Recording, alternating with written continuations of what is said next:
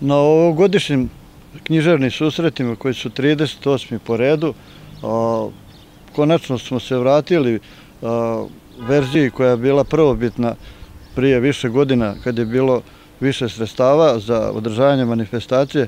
Ove godine se u obeležavanje manifestaciju su se uključili kulturno-obrazovni centar i književna zajednica Šid, tako da će manifestacija trajati dva dana, 14. će nastupiti e, folklor, folklori i e, ovi pisci, autori sa teritorije opštine Šid, a sutradan u subotu 15.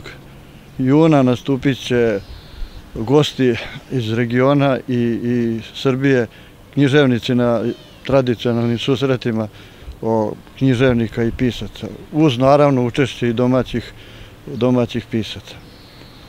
Program je eh, takav da će okupljanje početi u 9.30 do 10 časova, a potom će pisci koji su gosti otići na grob da polože i oni ovaj, cveće na grob Blagoja Strebića. Po povratku sa groblja negdje u 11 časova otpočeće izložba slika koja će biti postavka u Lovačkom domu u Vašici, ulus Udruženje likovnih stvaralaca Šid, a zatim posle toga počinje program koji je spremljen u te svrhe.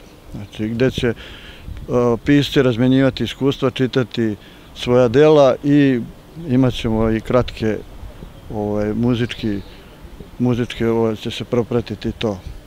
Tako da, nadam se da će ova tradicija ponovo zaživeti da će se na taj način odvijati susreti u buduće, s tim što ćemo voditi računa da to ovaj, ukomponujemo da bude u jednom danu. Ove godine je malo problem što se deca raspuštaju 14. A vikend je, ovi koji dolaze iz Republike Srpske, iz Beograda, ovaj, autori, književnici, radni je dan, pa nisu mogli da se uklope u taj termin. Ali ćemo u buduće gledati da to prilagodimo uslovima da bi se održalo jedan dan, kao što je to bilo na početku obnavljanja tih susreta pre deset godina.